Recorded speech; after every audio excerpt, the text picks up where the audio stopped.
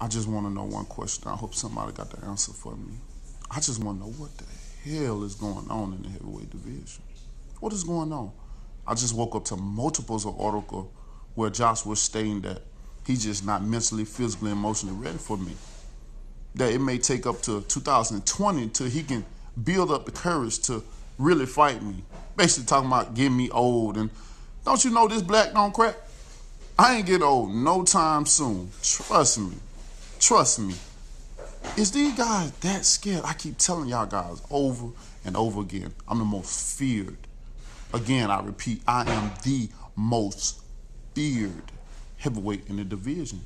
These man, none of these champions, the best, don't want they to go. They don't want to lose their record. And then Hearns talking about he'll knock me out in three. Then make the motherfucking fight then.